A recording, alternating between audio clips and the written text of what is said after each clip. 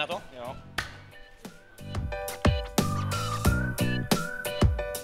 Tento cvik mám obzvláště rád, protože zapojíte především zpřímovače páteře.